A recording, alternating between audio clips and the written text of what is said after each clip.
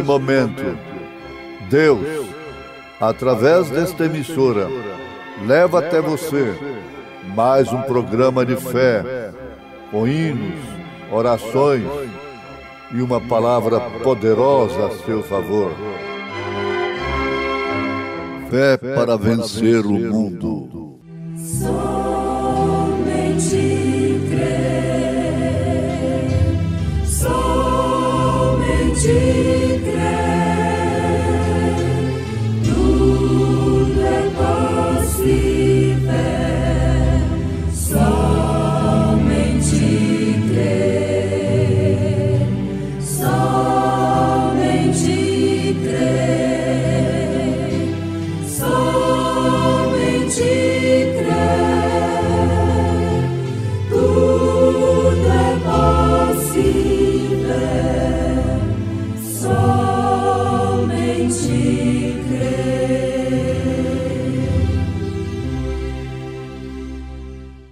Senhor é o meu pastor, nada me faltará.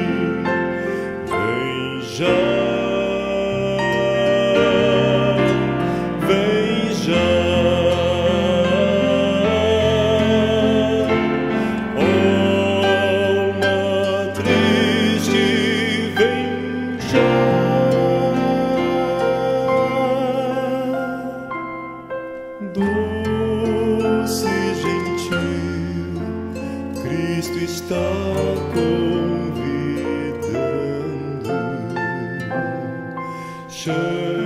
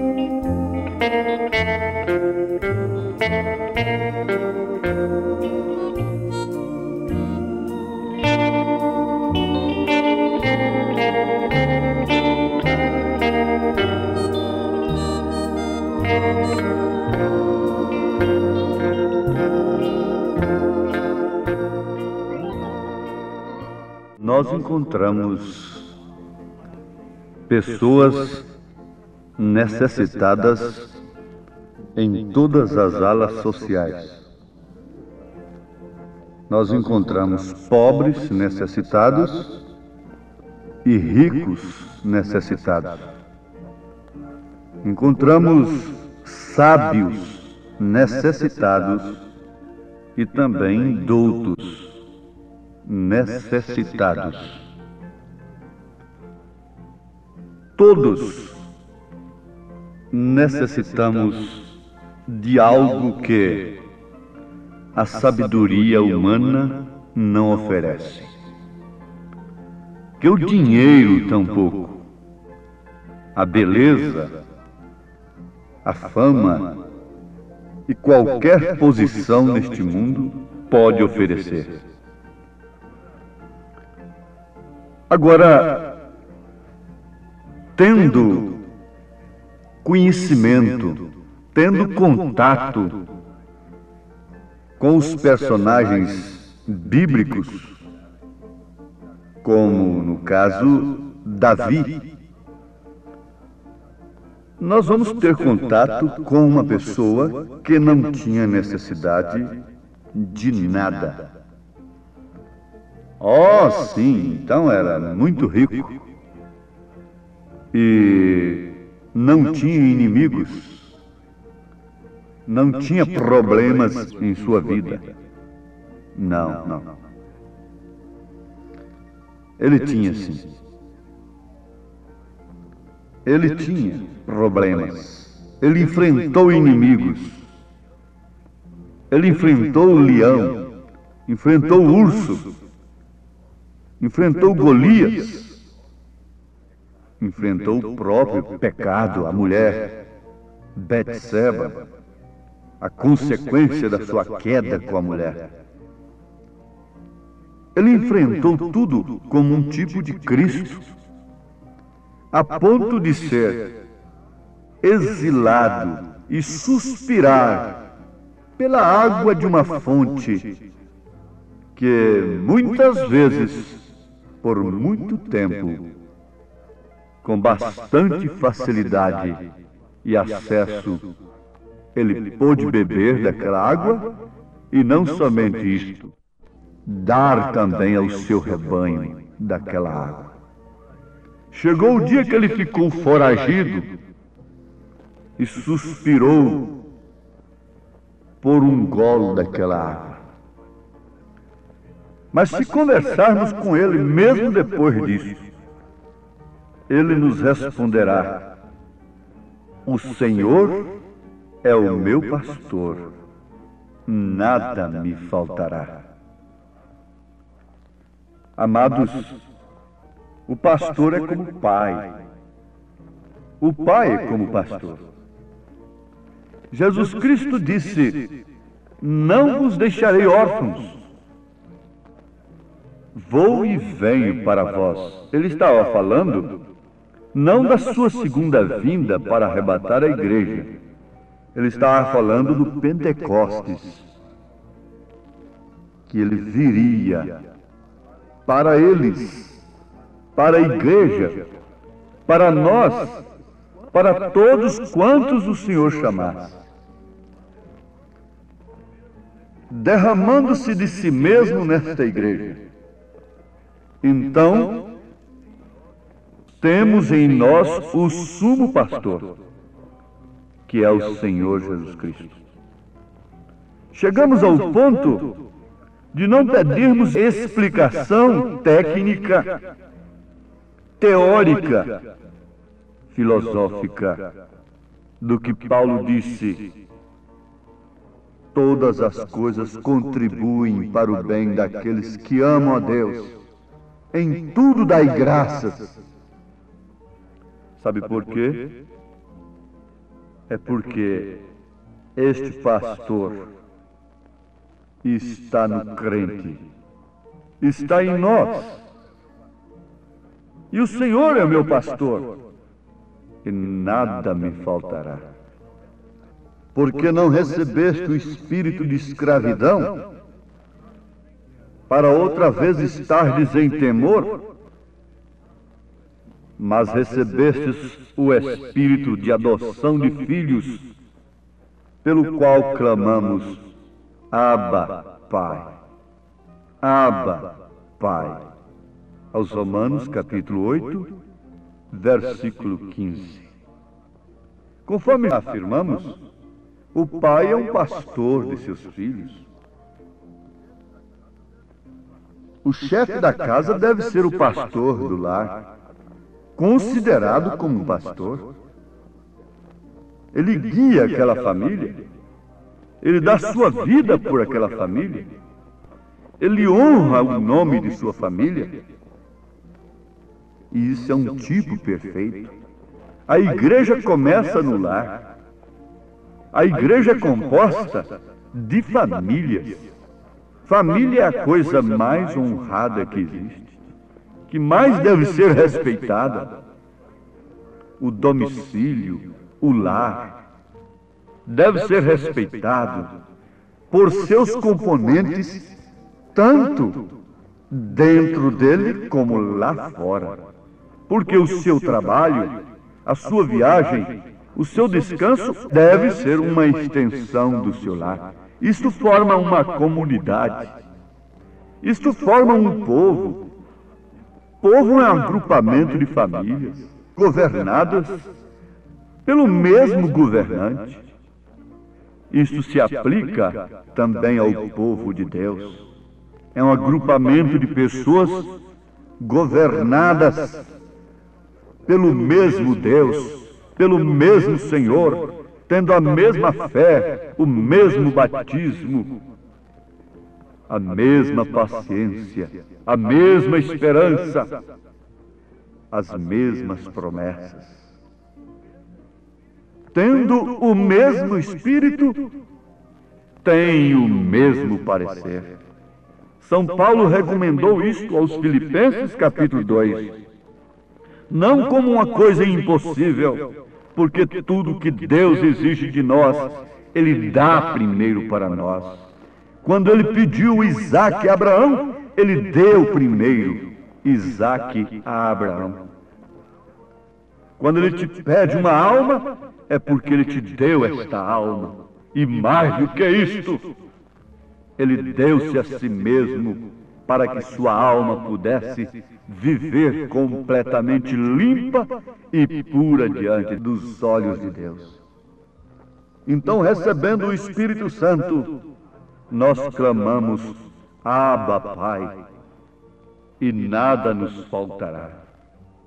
Abba é um vocábulo hebraico, caldaico, significa pai, ou meu pai é usado junto com a palavra pai, aba, aba. Isto é para exprimir invocação filial a Deus, conforme São Marcos capítulo 14, versículo 36, Jesus falou Abba, Pai. E em Gálatas capítulo 4, versículo 6, nós encontramos esta expressão Abba. Esta palavra era proibida de ser dita por servos a seus senhores. Era uma palavra privativa dos filhos originais que houvessem recebido a adoção, conforme Gálatas capítulo 4. Por isso Paulo disse: Porque não recebestes o espírito de escravidão para outra vez estardes em temor, em necessidades, faltando tudo no íntimo, uma alma vazia, sendo preenchida por vícios, por diversões mundanas, por perversões, por coisas que destroem a moral, que destroem o físico, que resultam em insegurança mas Paulo diz: recebestes o espírito de adoção de filhos, pelo qual clamamos, Abba, Pai. Então, naquele tempo, o servo não podia chamar o seu senhor de pai. Não podia de maneira alguma. essa expressão Abba Pai era privativa dos filhos. Essa é uma expressão privativa dos filhos de Deus. O filho do seu vizinho não te chama de pai. Ele sabe que não tem esse direito. E ele não se ilude em chamar a você, um desconhecido, de pai. Desde que ele seja um moço consciente, uma moça consciente, já tenha alcançado a idade da consciência, não pode de maneira alguma chamar um estranho de pai. Agora, pelo Espírito Santo de Deus, é que nós falamos que Jesus Cristo é Senhor. E quando nós falamos que Jesus Cristo é Senhor, por esse Espírito pelo qual clamamos Abba Pai, nós estamos dizendo que Jesus Cristo é Pai. Então você por aí fica sabendo qual é o nome do Pai, qual é o nome do Filho, qual é o nome do Espírito Santo que deve ser invocado no seu batismo. Porque você deve receber o nome desse Pai. Quando você nasceu, você foi registrado com um nome. E você recebeu o nome de seu Pai. Você carrega o nome de seu Pai. E quando vem a revelação do Espírito Santo a você, a primeira coisa que você clama, deseja, é pelo nome do Pai. Porque pelo Espírito Santo 1 Coríntios capítulo 12, você considera Jesus Cristo como Senhor. E você não é simplesmente um servo mais, um servo de Deus trabalhando para Ele. Você é mais do que um servo, você é um filho. Você é um filho, você é uma filha de Deus. Por isso você faz questão de clamar pelo nome deste Pai, invocar o nome do Pai em sua vida, deste Senhor que é Cristo, que é Senhor Jesus Cristo. Se pelo Espírito Santo você clama, Abba Pai, se pelo Espírito Santo você diz que Jesus Cristo é Senhor, então você diz, Ele é Pai, e Ele tem manifestado o seu nome ao mundo, aos homens, a quem o Pai tem lhe dado. São João 17. Então eu quero o nome deste Pai.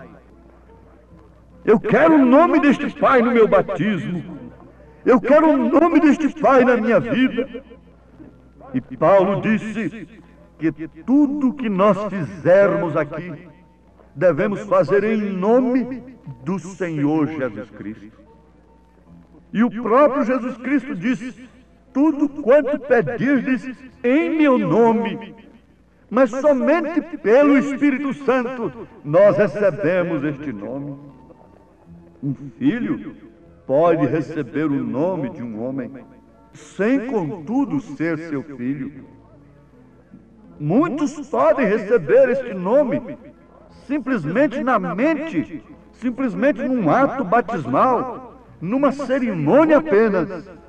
Mas nós estamos falando daqueles que tem recebido como adoção verdadeira, que tem alcançado uma experiência como aquela de Davi, que chegou a ter um coração segundo Deus.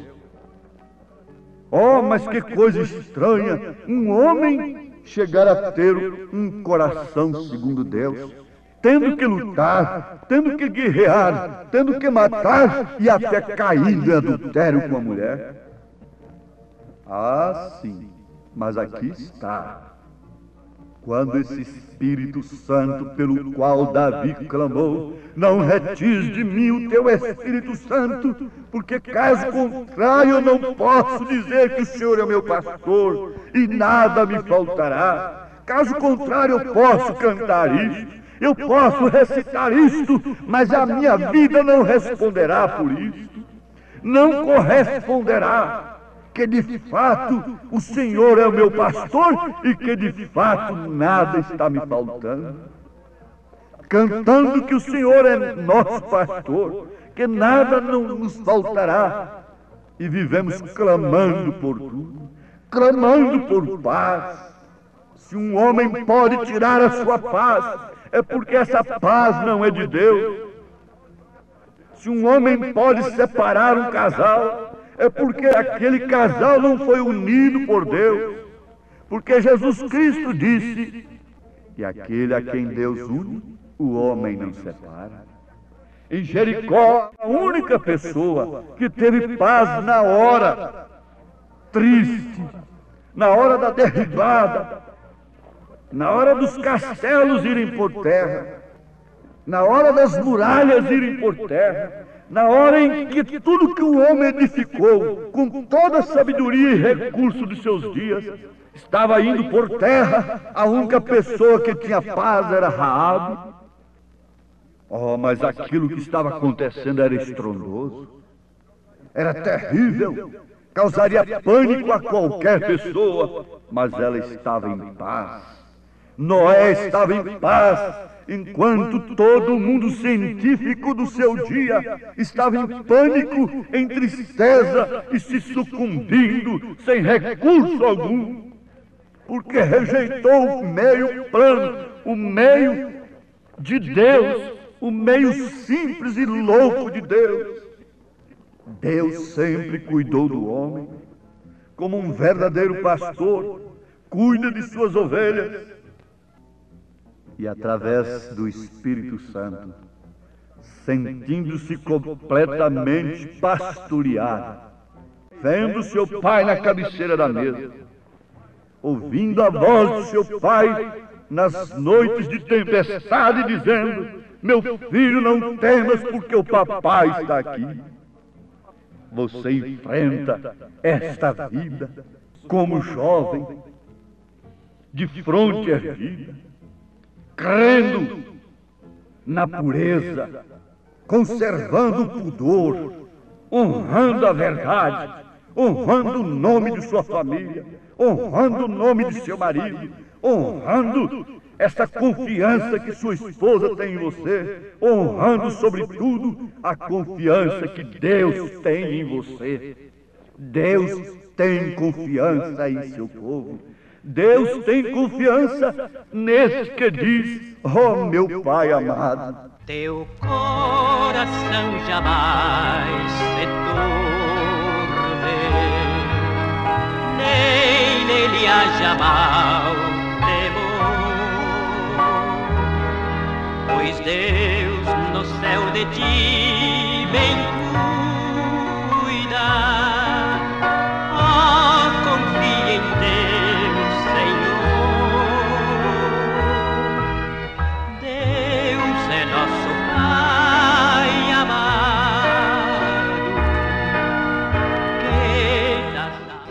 Ainda que eu andasse pelo vale da sombra da morte, não temeria mal algum, porque tu estás comigo, a tua vara e o teu cajado me consolam. te atenderá também.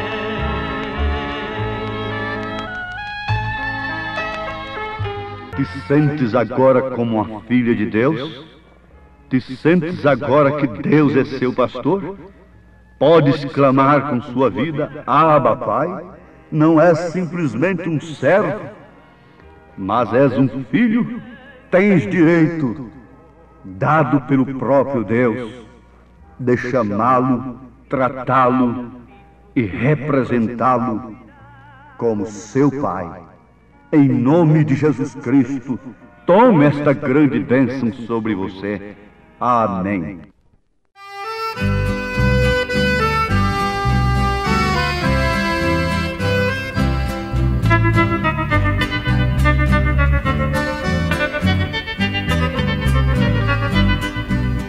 Desceu lá dos céus o bom Filho de Deus para ser meu e teu Salvador.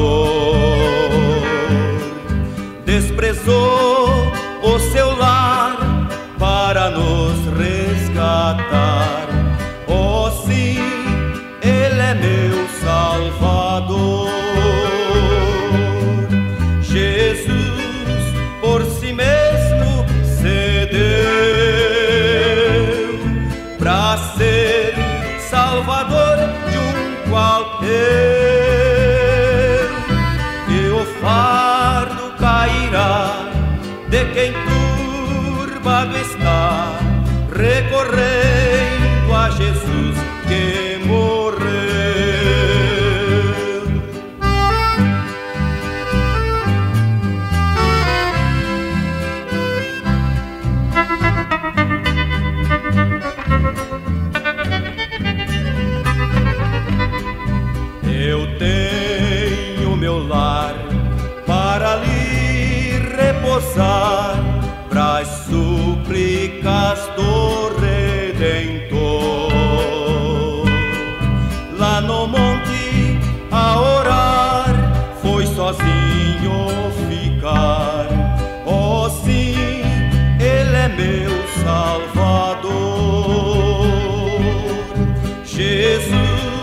Por si mesmo cedeu